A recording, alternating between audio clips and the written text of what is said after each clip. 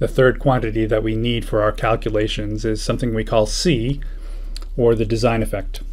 This is the inflation factor that will buy back our statistical power that we lose when we go from a simple random sample to a cluster sample. In order to calculate the design effect, we need two inputs. The first will come from the steering committee or maybe from the survey manager. They need to tell us how many completed survey responses they believe each team will be able to gather in each cluster with maybe a one day or a two day visit to the cluster. So they'll need to think hard about how many workers will comprise a team, whether they want that team to spend one day or two days in the cluster. And they can revise these quantities later, but we need to start with a rough figure for the number of completed responses, the average number of completed responses per cluster in some reasonable amount of time.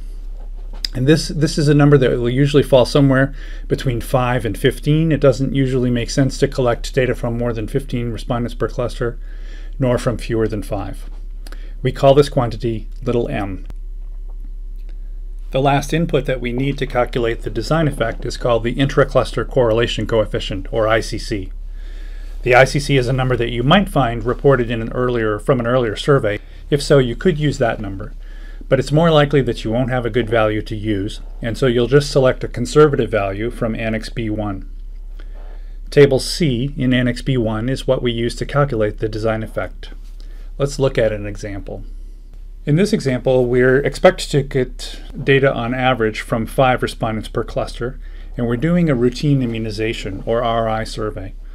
We can see then that we're going to be looking in this column, five respondents per cluster, and we see over here in the description that a conservative choice for routine immunization surveys is an ICC of one-third, so we'll be looking in this row. The intersection of that row and column gives us a design effect of 2.33. That's the value that we'll carry forward into the sample size calculations.